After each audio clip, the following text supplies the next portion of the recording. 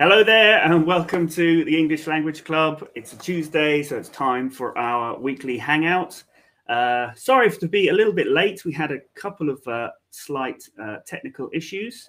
Uh, we so, but yes, we're here now. That's the important thing. Uh, hope you're all doing very well. Um, we've not got any questions yet, so get those some questions coming in. I can see we do have a few people watching, which is great. Uh, so yeah, let us know if you've got any questions, anything about learning English. Um, it can be specific, it can be general, um, or uh, just let us know how you're enjoying your your Christmas holiday period. Uh, if you if you're on if you're already celebrating. Uh, Tony, how are you doing? Are you enjoying Christmas? Uh, actually, yes, I've really been enjoying the Christmas season so far this year. I remember that last week we talked about how many people have decorations up, and even more people have decorations up in, in our neighborhood than than the last time we talked. The uh, there's a, a, neighborhood right across the street from us, and there are probably uh, like three quarters of the houses probably have have decorations of some sort up, and and there's a lot of houses that have a ton of decorations up. So it's really getting uh, people are are going all out this year. Mm, that's great. Um, I don't think there's been much of a change in that sort of area uh, here in the UK, or at least in my neighbourhood. I'm sure. I'm sure a lot more people have decorations up. Um, as you can see, I don't have any decorations up really. Um, it's just me here, so uh, I I I never I don't I don't normally bother too much. Um, plus, I'm out I'm out working most of the time, especially at Christmas. Um, but hopefully, in the coming year, that's going to change uh, as as we will hopefully be doing more and more things with English Language Club, and hopefully yeah. we'll be able to go full time on it. Um, but anyway, I suppose uh, we can get more about that later. Um, now, so yeah, we are still waiting for some questions. We've got a few people watching. AJ's with us. AJ, uh, one of our regular viewers, always is always there. So you're very welcome. Uh, number one is there. He's another regular. He says hello. Hope you're both fine. Uh, yeah, and also Sama Samar, Samaran Samaran Nahar. May peace be upon you. Thank you very much. Um, and um, yeah, we had some technical issues. I think you may have been watching on the other the stream, yes. the other stream, which went went wrong. Um, We're proper now. That's right. Yeah. Amelia Aguilar from uh, Panama City, uh, teacher in Panama City. Welcome back. We talked to you last week. Yeah. Mm-hmm. And AJ's got a question. This is not really for us, but I think for everyone, or not specifically for us, but everyone. Uh, so, classic Christmas films that are good for that are good to learn English. So, yeah, if you have any favorite Christmas films that you think people should watch because it might help them with English, um, then yeah, let us know what your favorite Christmas movies are. That would be great to uh, to to hear those recommendations.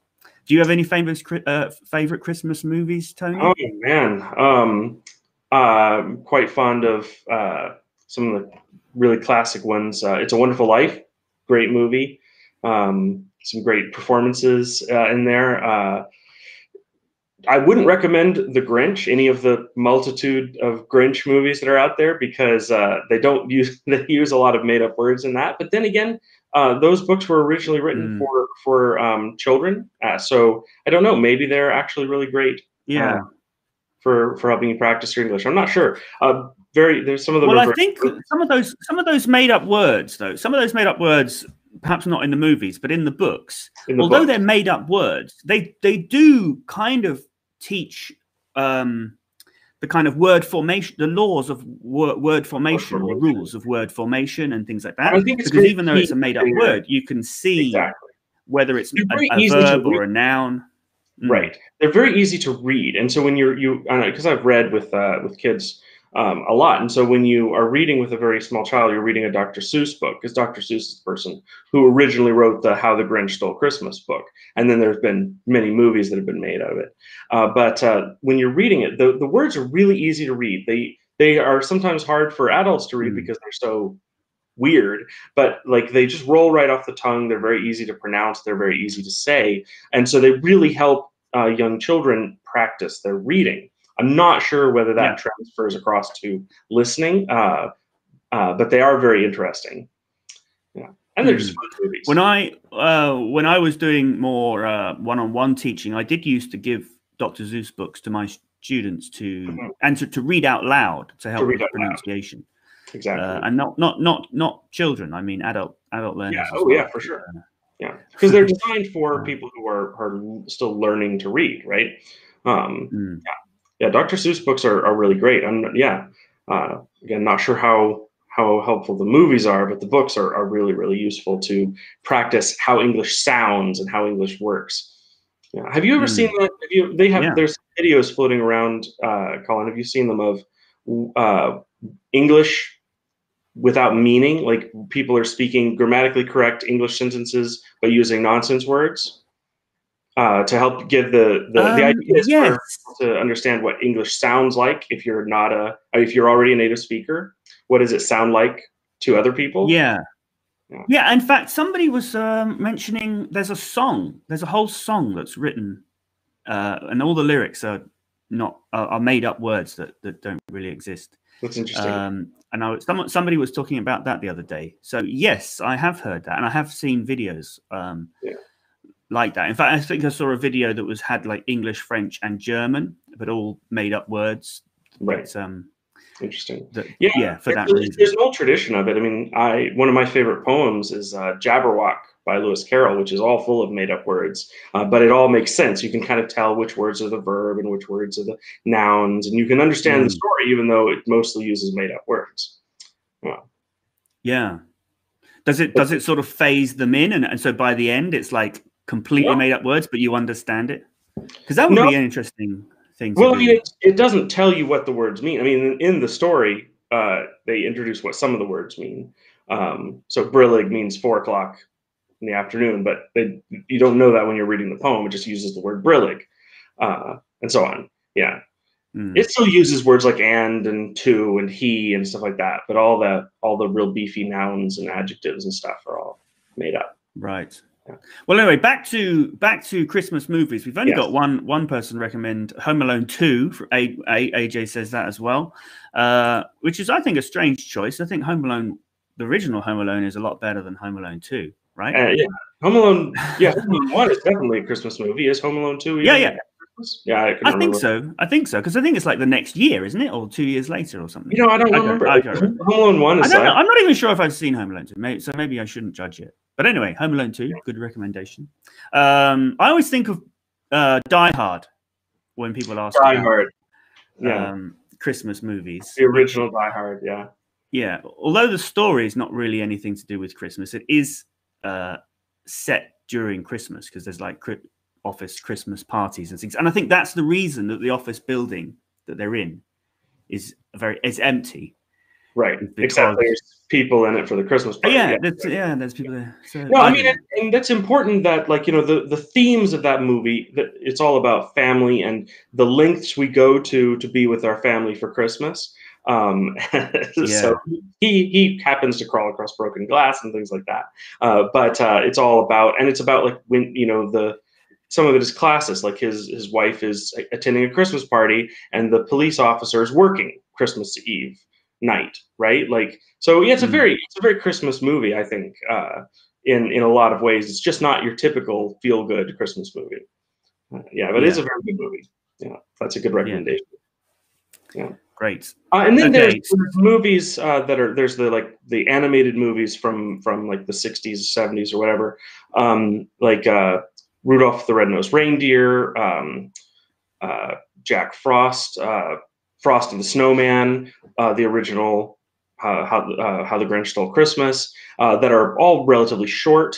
Uh, and they are were originally intended for children, but they have fun little stories to them too. So those those could be very interesting to to watch. Mm. And there was a movie um, that uh, a few years ago. It was Tom Hanks, but it was animated, which is based on a very famous Christmas book uh, Ah, about a train. Uh, the something Express, Chris, uh, Polar Express. Polar Express. Yeah, that was really good. I like. I like that. I didn't. Yeah. Didn't do Um, too well I- here because Polar Express is what we call really, really nasty cold winter. Oh, is it? Mm. Yeah. But it is also it's a famous book, right? It is a famous children's book. Yeah. It. I think it's it's it's very famous in America, but it's not so famous outside of America. I don't think. Um, but yeah, the film was the film was great. Uh, great. Anyway, we've got some uh, English related questions now. So, but anyway, keep your Christmas favorite Christmas movies recommendations coming in because it will be Definitely. good to, to hear them. Uh, so let's see. Um, Samaran says, um, "I have a problem in listening to English. Sorry to say that, that, uh, but for this problem of mine, I can't understand the native English speakers clearly. Can you please tell me a way of improving listening?" Hmm. So, I mean, Well- it does matter whether we're talking about in person or if we're talking about trying to listen to movies or television, don't you think?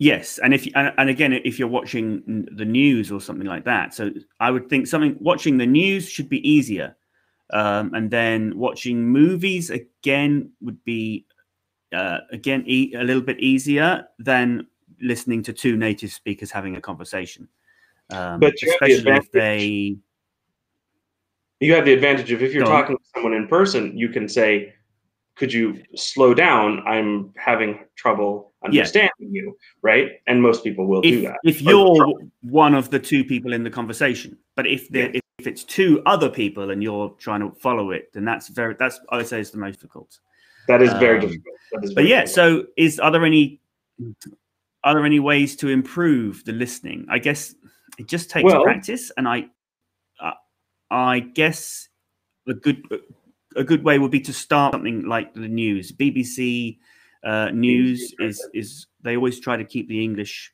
relatively simple uh, compared to other things. So that's a good place to to start. Um, um, any other tips tony? So uh, you're talking about like the, some of the easiest ways to practice are with uh, television or or movies, uh, tel- or the news especially, and that's great. And one thing that I can say is a unique advantage when you're watching something like that is you can often adjust the speed. If you download a video Mm. and then you find a player, if your player, you're I mean on YouTube or something like that, you can adjust the speed. Yeah. Right. If you are downloading something, find a player that lets you adjust the speed. If your video player doesn't, and then you can you can slow it way down and you can also usually turn on captions. Like the news or something like that is always going to have captions subtitles right? And if you're look if you're watching a movie or television show if it's something you know it's not something really obscure you can probably find subtitles or captions for it right? So Mm. um, that's great. You slow it right down and turn the captions on. Like if you're if you're that's the absolute like you know if you're really really struggling you know turn it to half speed turn the captions on and you can also rewind right? So a lot of uh, players nowadays have like a or even youtube has like a back 10 seconds or back 5 seconds button. And so oftentimes when i'm watching something in a in a language i don't know or even if they just have a really strong accent or something and you miss a detail you just click a couple times back and listen to it again. And you can do it as many times as you can if you get or as many times as you want if you get a word that you don't know right Mm. or a phrase and you're like i don't understand that. And then if you're like susanta you write it down and you come ask us what it means. Yeah. Yeah. That's a that's a, yeah that's always a good thing to do. Look at all these Um, susanta questions. This is going to be fun. Now i think you can even get um, uh, subtitles on live streams uh, but obviously it's done by by computer so it's not always not accurate going to be perfect Uh, yeah. Um, I'm not sure if it would be possible on this live stream because um, because of the setting. But I'm thinking we might change that so that it is possible. It would it would just mean that there's a longer delay um, uh, between when we speak and when you actually hear us.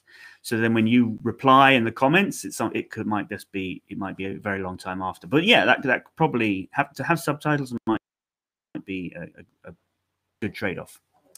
Um, yes okay, let's see. Um, there was just a So, question Amar- related to this go that on. we were just asking about um, if we could just hit that real quick while we're on the same topic uh, from english with heidi yeah, I think the dialogues.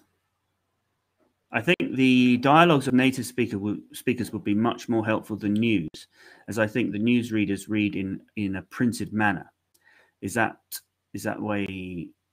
Isn't it Isn't that it that way? It says. So I will say this is one thing that Um, is very, very. Uh, it's hard to notice.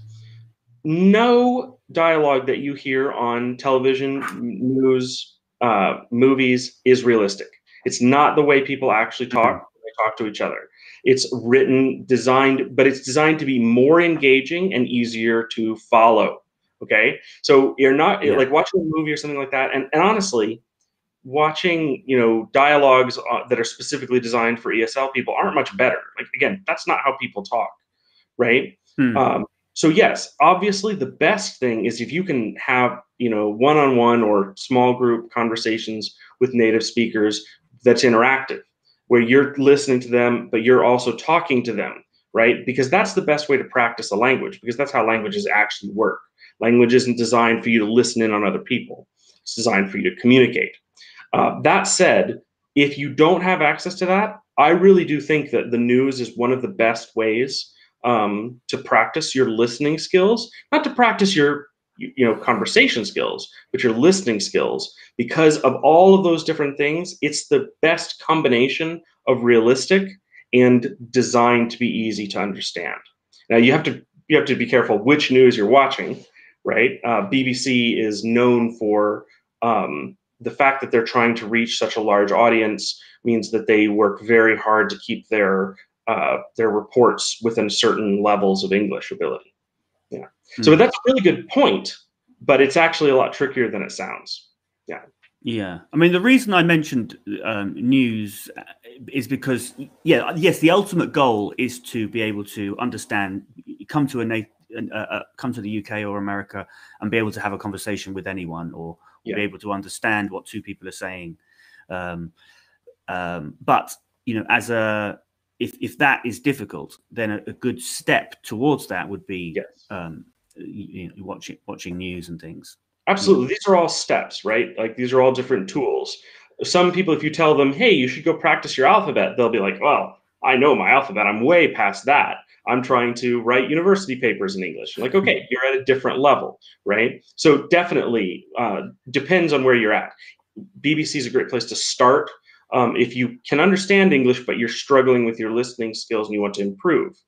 Uh, there, you might find other other things. Last week we, ta- or maybe it was two weeks ago, we talked a lot about finding an online community to be a part of, a Discord channel for your favorite game, or that talks about your favorite sporting event or something, and and Mm. actually being able to go on and and listen to the conversation and engage in it. But for some people, that's going to be too hard to just jump in there, right? And so there's the different levels that you can use to, Now- to practice. Speaking of Discord, um, I wasn't sure. I wasn't going to mention it this week, but as you've as you've mentioned Discord, um, we I'm considering starting a Discord for the English Language Club.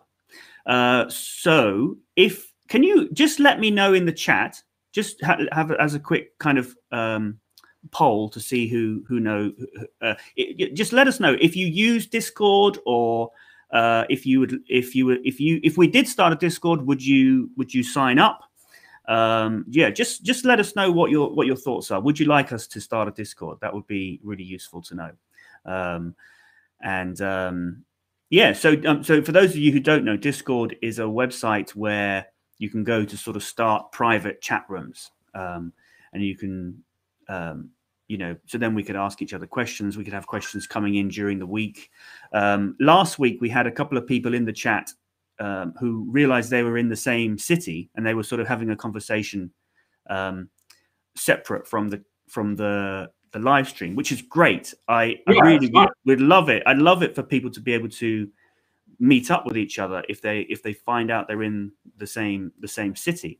Um, it's just that and, and things like that because people are always looking for people to have conversations with and and and to to practice with.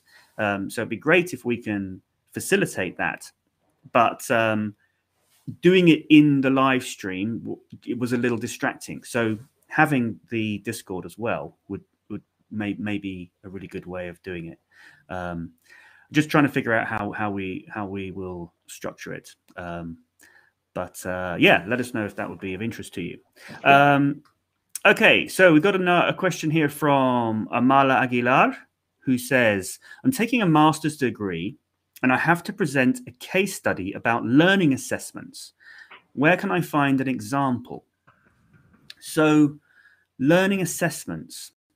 Well, I mean, there are lots of sort of international exams like the IELTS and the um, FCE, the, Cam- the Cambridge exams, FCE, uh, uh, CAE, and then um, P, the proficiency. Um, so you and you could very easily Google the examples and previous uh, examples of previous questions and the types of exercises they're asked that, that, that, that are in those exams.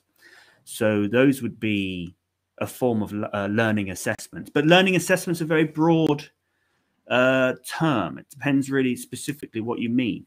Um, you, do you have any thoughts on that, Tony? So if you're if you're talking specifically about at a master's level, uh, one thing that I would maybe suggest is look up some Canadian or American or British, uh, whatever your kind of target is, universities, and find their um, their Masters of Education program online and look and see if you can find some materials from some of their courses. Because oftentimes there will especially nowadays right uh, right now lots of universities have all their stuff available online. Uh, they'll have their syllabi or they'll have some some course materials right so you know look up a, a university that you like or, or or just you know kind of google search different uh, um, masters of education programs about pedagogy about um, learning assessments and you might be able to find something. Uh, just because this is the kind of thing that's being done in, in master's programs or even bachelor's programs all over the English speaking world. Uh, you know, anybody who's studying education is having to write learning assessments uh, and present case studies and stuff like that. So there are a lot of examples. Um, I can't think of one like off the top of my head that would help you, but there are loads on Google for sure. Hmm.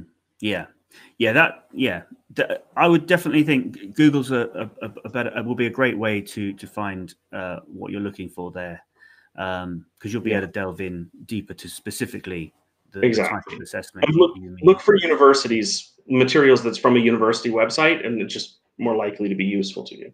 Yeah. Mm. Yeah. Great. So quick follow up from um, quick follow up from uh, Samaran, uh, who's uh, relating to the first question we had. He says, uh, "I've I've improved uh, little in my listening skills this year. I'm happy for that, uh, but I couldn't improve uh, my listening fully. But I'm trying. So that's great. I mean, things things take time, um, and you know the fact that you can see that you've made progress in the last year. That's the important thing. Um, yeah. Don't be. You shouldn't be discouraged that things aren't going as you know uh, especially if you're comparing yourself to other people and things everyone goes at their own pace and that's absolutely fine um, yeah so yeah keep trying and it's Definitely. great that you can see that you've made progress um, and yeah just just keep at it sometimes it feels like i can't there's there's sort of a famous quote something along the lines of like uh, we it, we make hardly any progress or we we we like it seems like we make very little progress in in a in when we when we look back over a short amount of time, but when we look back over a longer period of time, we've made a huge amount of more than we can more than we can believe. So, Absolutely. Um, like think yeah, of it when you're walking along a path. That's what I would say. When you're when you're walking along a path right, so, on a mountain and you're climbing up, you can easily look down and see how far you can you've come because you can see everything. But when you're walking along a flat plane and you look back, sometimes you know it doesn't look like you've come very far. But then once you get get some elevation, you can see how far you've come, right?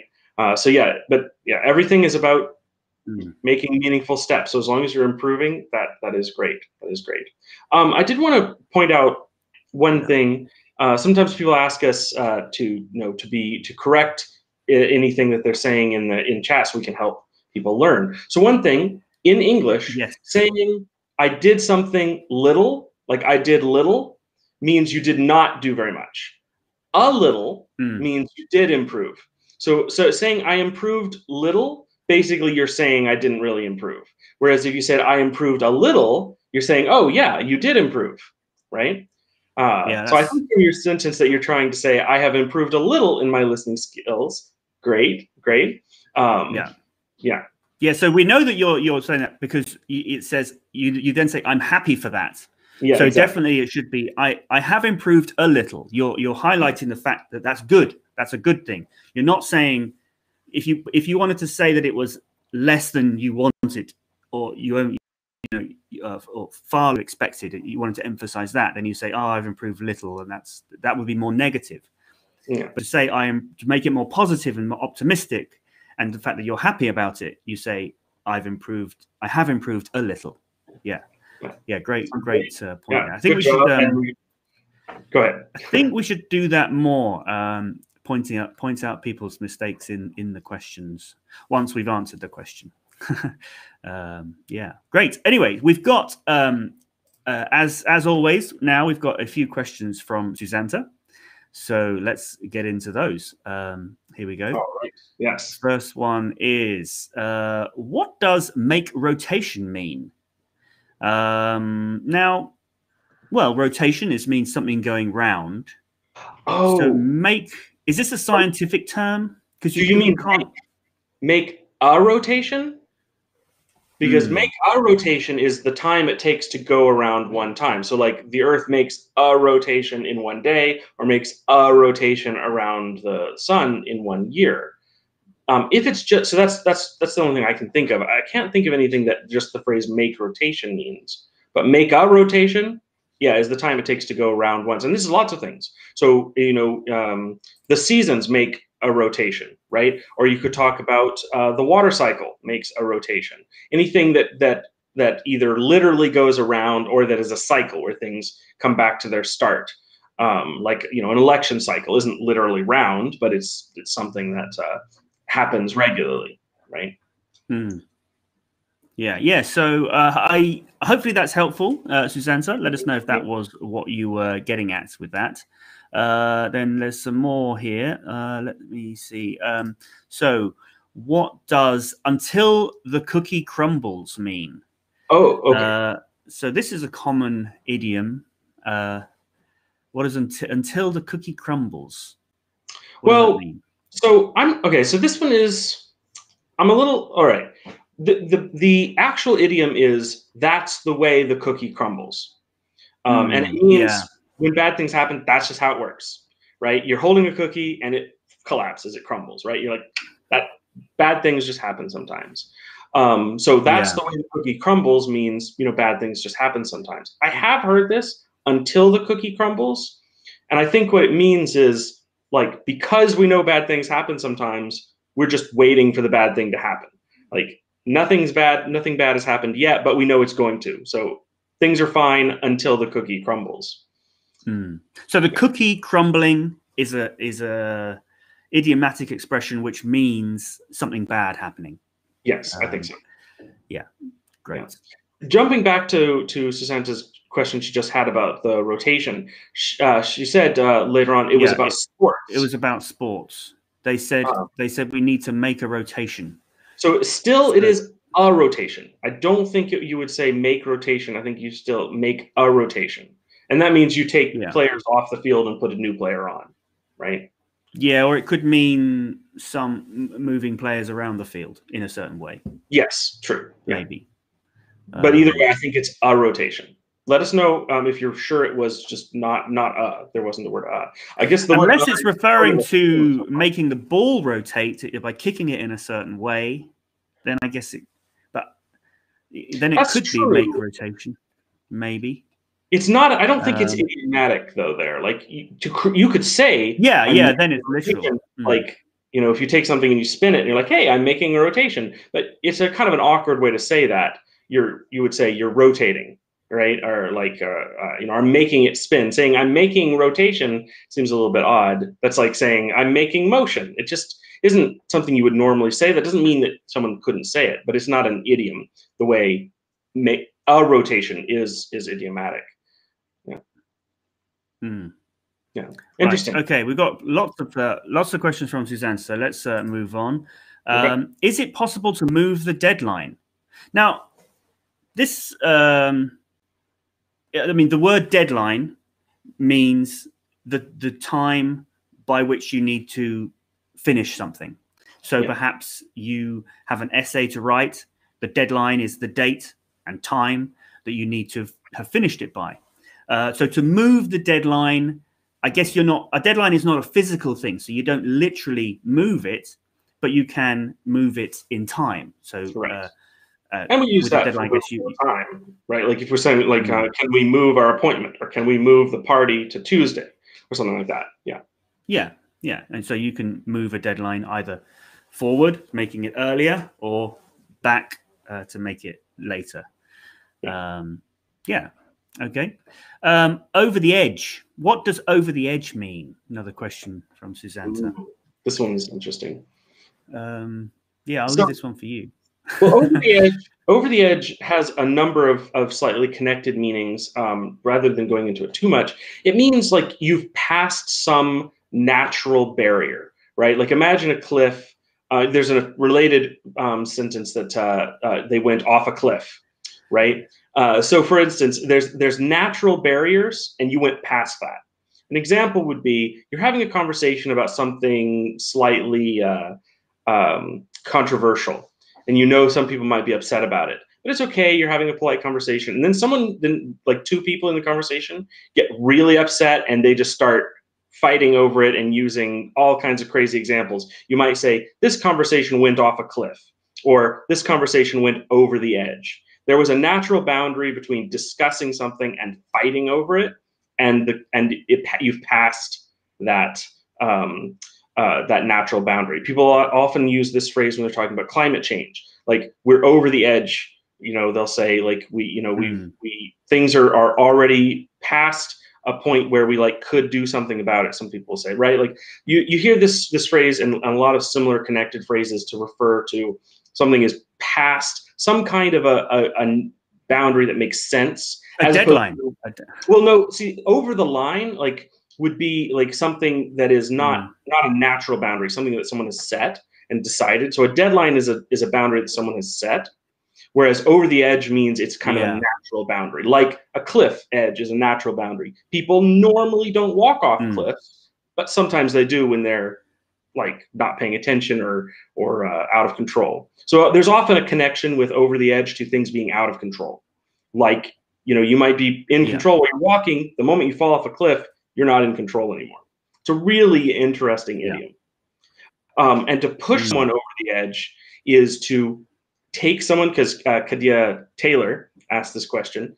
Um, to push someone over the edge means you make them pass that boundary. So if someone is talking about something controversial and you say something that you know is going to get them really upset, and then they, you know, pass out of conversation and into fighting, um, you've pushed them over the edge, right? And same going back to the like environmental uh, analogy, you know, when things are are bad and then you do something to make them worse, sometimes you push them over the edge into uh, like the realm where you no longer can fix it, right? That's a good Mm. follow up question there, Kadia. Yeah. Great. Okay. Uh, another one from Susanta who says, uh, What does it mean when you say yes or no at the beginning of a sentence? Um, well, you would often say yes or no at the beginning of a sentence if you're answering a question. Mhm. Um, Do you like cheese? Yes. My favorite is Well- cheddar. Since she put the quotes around it, is she saying when Hmm. you actually say yes or no? Uh, so if someone said, "Do you like Ah. cheese?" yes or no?" It depends on the kind of cheese. I think yes and no is more common than yes or no. Um, But Hmm. oftentimes you'll hear this. Someone says, "Yeah, do you like do you like pop?" Well, yes and no. I like root beer, but no other kinds of pop. Um, or uh, do you? Uh, uh, yeah, lots of different things. Um, so yeah, it just means that the answer is more complicated than a simple yes or no. Um, then ironically, we communicate that by saying yes or no or yes and no, um, Hmm. because the answer we're saying yeah, the answer is more complicated than that. Now, you might also say um, yes or no when you want to specify, when you're Mhm. asking a question, that you want the p- uh, person to answer either yes or no and not be vague and not really answer the question. So it's like, uh, you know, uh, yes or no, are you coming to the party? Um, don't say, oh, well, maybe if my mother's not. Uh, not able to look after my children or whatever you know if you want a clear answer, you can say yes or no, then answer the ask, ask the question. That's another time you might hear that. Uh, but um, yeah, okay. There was a f- couple more. Um, let's see who blinks first means what? Oh, this is fun. Uh, so sometimes um, people, especially kids, will do what's called a staring contest, which is where they'll look at each other and they'll try really hard not to blink. And whoever blinks first loses. And so this is. I wasn't looking. um, so uh, the idea is, first of all, it's sort of childish, but it's this idea of like you're pitting your wills against your will against someone else's will, and whoever caves, whoever gives in first, uh, loses. Uh, and it's seen as somewhat childish, somewhat foolish. Um, and so usually when people talk about this kind of thing, they're not they're not particularly uh, it's not a positive thing that's happening. You'll also hear people say playing chicken, which means the same mm. thing, except that it refers to a really foolish game where people drive their cars or, or, vehicles towards each other and see who veers out of the way. Or they could be running or walking or pushing supermarket trolleys. Yeah. um, um, yeah. But yeah, so, it's but it's it's so it's a it's an expression uh, which can metaphorically be used to in talking about negotiations if it's if uh, mm-hmm. referring to that psychological element of you know if yes. um, you know to see who blinks who who gives yeah. in uh, in in a negotiation yeah mm. okay next next one um, what's hit in the pocket so pockets are often used in metaphorically to talk about money because that's where we put money. Um, so when you get when you're hit in the pocket, it means it's going to cost you financially. Um, so if you're you, you, could be talking about a, a, a, government project or something, and if it's going to be very expensive, you might say, "Oh, it's going to hit the taxpayer in the pocket," um, meaning to they're going to have to reach into their pocket to get money out. Uh, well, yes. not literally. Uh, it'll go through taxes in that case, but you know that's because that's where we keep money. That uh, pockets are often used metaphorically to talk about money. Right. Or you'll hear pocketbook hit in the pocketbook. Same thing, meaning like wallet or purse or whatever. Yeah, yeah, or yeah. So you might you might hear also saying that's going to hit you in the wallet as well, right? Or hit um, you in the checkbook. which is less common nowadays, but it used to be very common. Yeah. Really? Yeah. I don't know. Yeah. I think there's different different expressions in in the US and the UK, but um, I'm yeah. sure. No, I mean, hit the pocket, pocketbook, uh, wallet. Those are all definitely um, still used here as well. Used mm. to hear in the checkbook, but that that that's been a while. Yeah. Uh, I think this is the last one for now from Susanta. Um, Good questions. Oh, that not, not that one. Next one. Uh, one before that. Uh, what does something decreasing year on year mean? So year on year is a measure of you're comparing right now to the same time of year last year, right? Or during previous years. So just you're mm-hmm. not saying I'm comparing that something all of this year to all of last year. You're saying how were things this time last year compared to this time uh, now just because naturally things have peaks and troughs. So, for instance, if you're selling yeah. Christmas Christmas cards and uh, you're it's only you're only up to July, well, you've probably sold less than half as many Christmas cards as you did last year because you mostly sell your Christmas cards closer to Christmas, right? So, by comparing year on year, mm-hmm. you can compare where you are at this part in the natural yearly cycle to where you were last year during the same part in the cycle. Yeah, yeah. So yeah, so to compare to compare something to a year ago. A year ago. Yeah. Um, yeah. Wow. Lots of yeah. lots of very interesting questions, Susanta. Thanks. We always always yeah, great. It's, it's, becoming like um. It's like a segment. It's becoming like a a, an a segment yeah. of the show. Yes. Yeah, which is great. Susanta uh, News Questions Hour. It's great. yeah. Uh, okay, um, so here's a question I think from English with Heidi. Uh, I think the dialogues. Oh no, this is just. Um, we, we this is relating yeah. to about the thing about listening. Um, yeah, we, we answered this one. Yes, yes, we talked about that. Mm-hmm. Um, okay, but thanks for the comment anyway, Heidi. Yes. Um, let's see. Uh, just comment here from uh, Nimrod uh, Sal- Salgado. Watching from the Philippines, to be honest, uh, I am low in English. I can understand, but I try my best. Sorry, every day I practice how to speak English. Well, don't be sorry, uh, Nimrod. You're doing the right thing. Practicing every day. If you practice every day, you will see progress over the over the long term or even the, the medium term. So keep at it. Come back and watch us every week. We're going to try to be here uh, every Tuesday at the same time, 2, 2 p.m. UK time.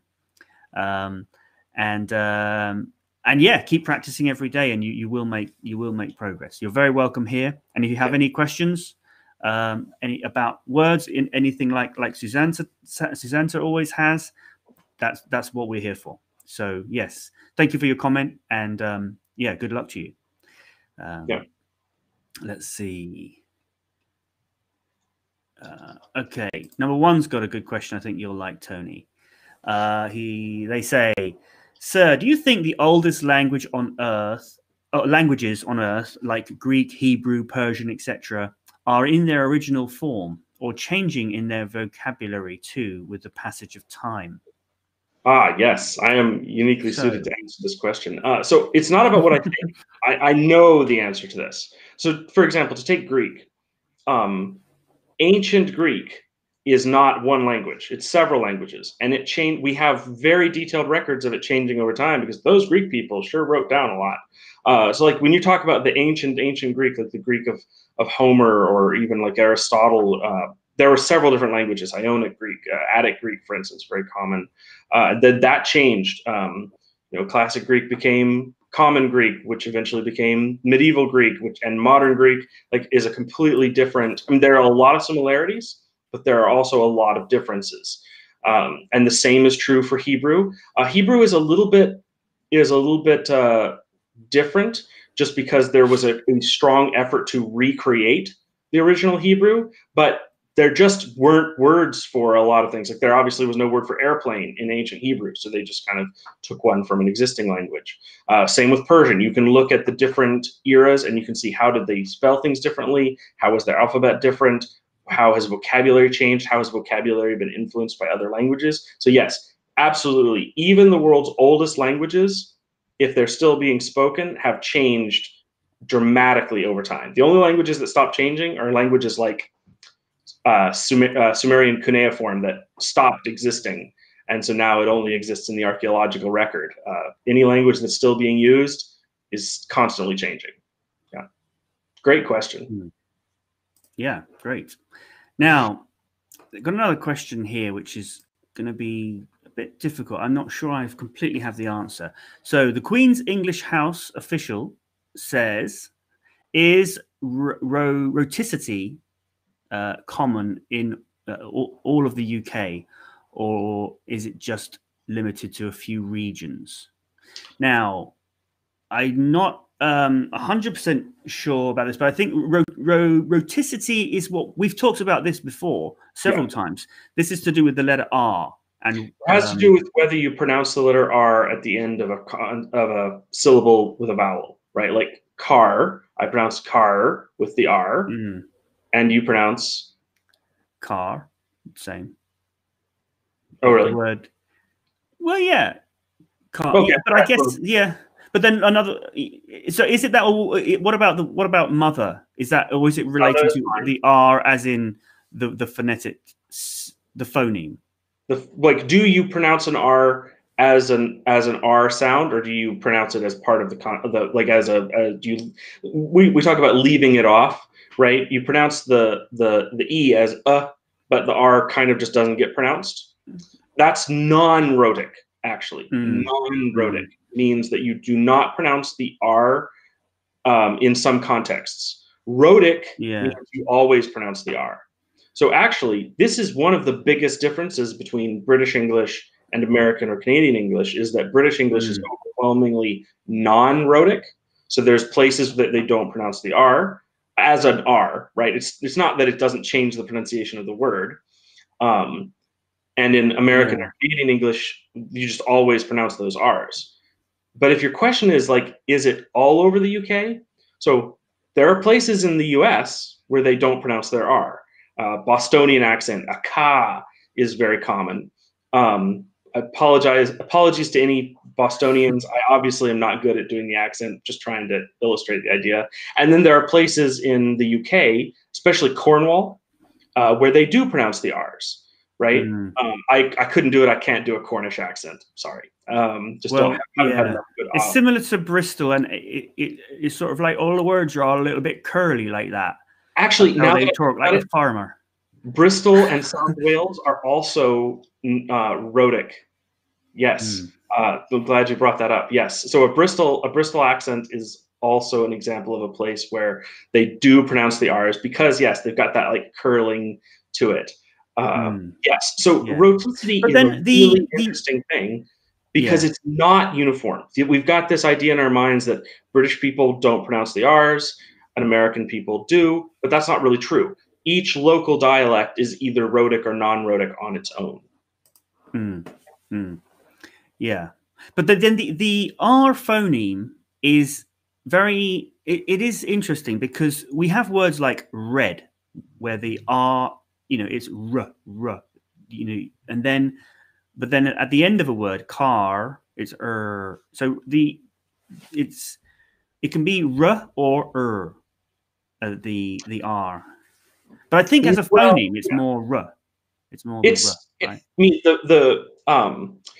I forget what the word for this is, but that, that's essentially assimilation. But what, like, whether mm. you're putting it at the beginning or the end, or what's before or after it, determines yeah. how you how you stretch the sound. Like, whether do you stretch it at the beginning, do you stretch it at the end, or do you stretch it both? And and the R is used in a lot of different ways in a lot of different languages. Um, so that's not really what rhoticity is about. Rhoticity no. is about whether sometimes the R gets skipped. Because yeah, there's nothing different phoneme about the red at the beginning and um, uh, super at the end. Like it's the same sound, same phoneme.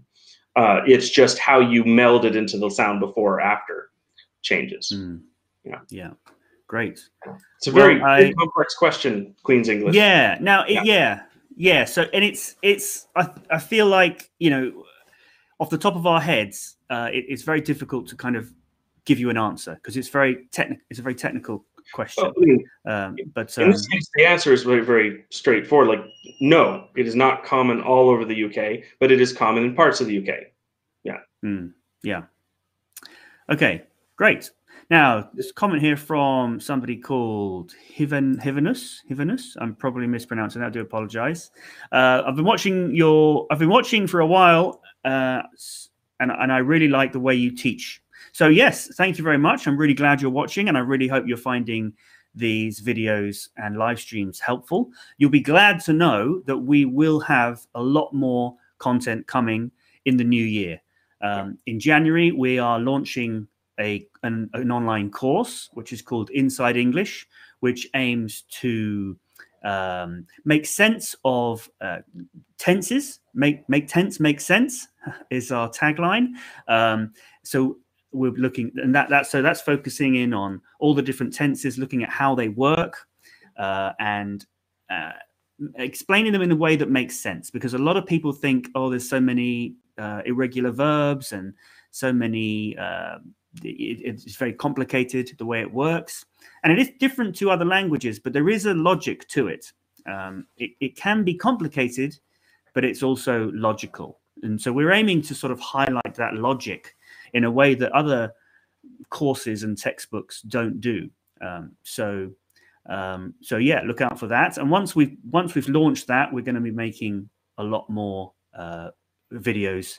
Um, certainly in January, there'll be at least one video a week on top of these weekly live streams, uh, maybe more than that. Um, and yeah, we're for, throughout January, we're, we're aiming to do something every day. Uh, so stay stay tuned for that. Make sure you're subscribed uh, here on YouTube. Make sure you click the bell so you're um, notified when we when we do go live and when we do uh, post new videos. But also, uh, if you go to the website, you can sign up to the, our mailing list. Uh, so then you'll you'll get notified of, of other things outside of YouTube that we're going to be doing. Um, and also, yes, there's also YouTube memberships that you can also you can already join the English Language Club through uh, through YouTube, and that will uh, currently that gives you access to a few little behind the scenes videos that I've made, and we are planning to uh, increase the the amount of members only content. We do want to have uh, members only um, uh, Zoom calls because it's great doing having calls like doing live streams like this where we can answer your questions. But it would be really great if we could actually see you and listen to you um, as well. So uh, we're really looking forward to meeting some of you face to face in Zoom. Um, and if you want access to that, that will be you, you'll need to be a member for that. Uh, and like I said, we're also considering uh, doing a Discord group uh, or server. So yeah, um, so stay tuned. There's lots more coming. Um, so let's see. We've got any other questions? We do have several, including some from uh, our uh, members. Ah, right. right we, the, we're running one. low on time. Do you want? Are we going to have to skip ahead or? Um, I think we can probably answer answer these. I think real quickly. Uh, number one um, question. Oh, yeah. Question. When English speakers say feeling blue, uh, is this about death or departure? Feeling blue just means sad. Uh, so it can be sad for a lot of reasons. You can just be feeling generally sad. You know, there's a lot to feel sad about. You could be sad about specific things, or you could be sad about someone's death. It just means feeling sad, right? Yeah. Hmm. Yeah. And then okay, and uh, so Daniel just got a bit lost. Here we are, Daniel. Yes. Now Daniel's uh, uh Daniel's one of our new members. Just a couple of weeks ago. Yes, welcome back, yeah, Daniel. So yeah, uh, great, great to see you again. Yeah. Uh, hello. My question is about the pronunciation of uh, e and uh. Can you pronounce it, please? I do not difference. Uh, so e is like in the word hello. It's e, e, hello, and uh is. I mean, when when I say the sound on its own, it's uh, it's yeah. I'm making it stronger. But normally it's very soft, like in the very word soft. mother at the end, at the end, mother. Uh, uh, uh. Mm-hmm. Um, it's the its technical term is the what is it the mid mid central vowel so it's which means you know it's very it's very neutral you're hardly doing anything with your mouth you're just mm-hmm. it's just completely relaxed and then you just make that one little sound uh, Yes, it's often um, called a half vowel because it's just a very short sound. Um, or I'll give hmm. you an American pronunciation as well, or Canadian. Uh, the eh, like as in tell, tell, eh, right? And the uh, like mm. as in about, about. Because again, you just kind of almost barely say it about. Um, mm. The sound at the beginning. Yeah. It's got an uh, like uh, but uh, it's just short, mm. about. You almost, it's almost like you're half halfway skipping it. Yeah. So it's a good question. Those are difficult. I will say yeah. uh, a lot of English speakers have struggled with the uh, yeah, yua um, sounds in in uh, in Russian or Slavic languages as well, uh, which are also very similar in how small of a difference they they have. So don't don't feel bad. Uh, it's definitely one of these pairs of sounds that can be difficult to to get the hang of, depending on what language you're coming from. Yeah, good question, and welcome back, Daniel. Yeah. yeah.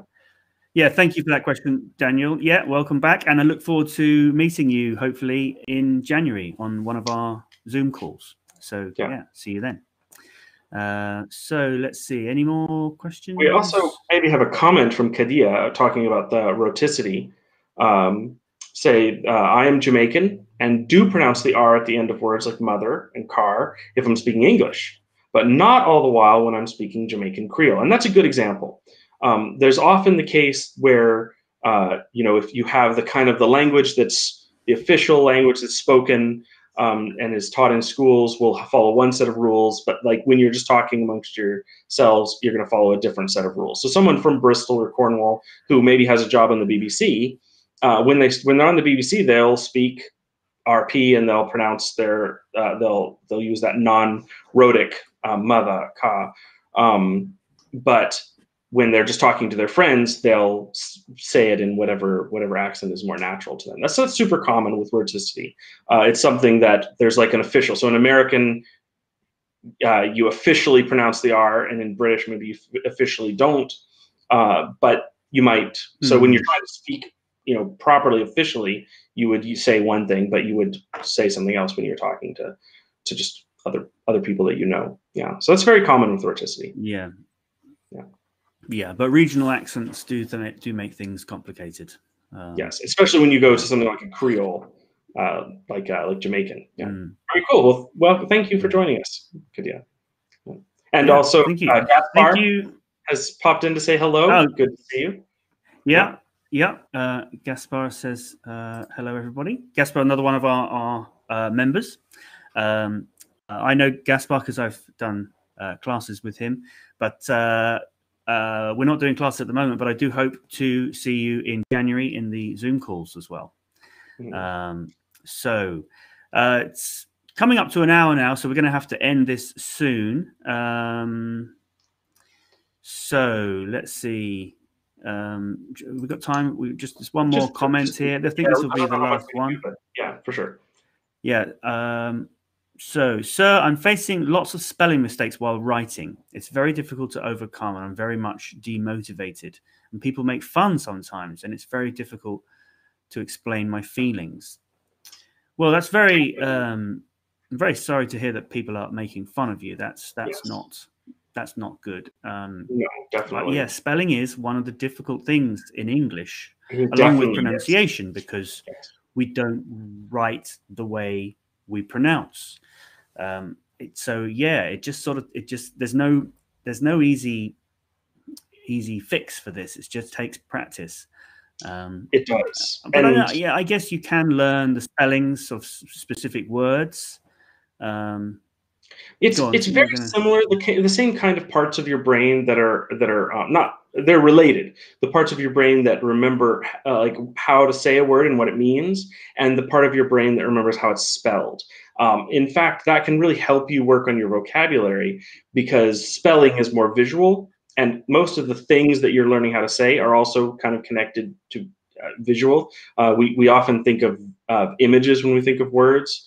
Uh, so practicing this can be very very useful um, if you if you really really struggle with it do not be down on yourself because there are loads and loads of native english speakers who can't spell to save their lives. So um, Yeah. don't feel bad but it, it can be it is really really useful to have good spelling. Um, in the meantime just you know anytime you're writing something take time to go over it and and check your spelling with a dictionary or with a spell check or whatever you do. Fortunately there are a lot of tools nowadays that can help you um, check your spelling and just keep working at it. And don't don't get discouraged. Don't don't uh, get feeling blue. Hmm. yeah don't feel blue. And you know you, you you say that a lot of native speakers struggle with um, spelling. And yeah i do too. And i, I especially when i was terrible at school i wasn't a very good student. Um, and um, yeah i so i use uh, spell spell checker quite a lot. Um, make you know make sure that you have got your spell checker set to to english if if you are using you know using a, a computer to write. And um, yeah so the good thing is that that with spelling uh, you can in, in most types of writing that we need to do nowadays you you can use a spell checker. Yeah. Um, so yeah and there's other tools like grammarly um, that that also helps that can also help with um, choosing the right vocabulary as well as as well as fixing grammar things as well. So um, there are tools that can help with with that uh, unlike speaking which which you know you're, you're more on your own when it comes to speaking to someone face to face but anyway i think um, we will leave it there for this week. Um, but thank you so much for joining us. If you have found this useful please give us a thumbs up because that really does help other people find us in the future and like i said we are going to be producing a lot more uh, content uh, in january hopefully something every day um, and a lot more uh, videos which we are already working on um, so yeah, we look forward to seeing you then, um, and uh, and I hope you have a really good Christmas. We are planning to be here next week, so we should see you then. Um, but uh, yeah, enjoy enjoy this next week if if you if you can, and we will see you next week. Um, yeah, uh, one sec. Uh, yeah. Um, thank you for watching. We'll see you then. Bye bye.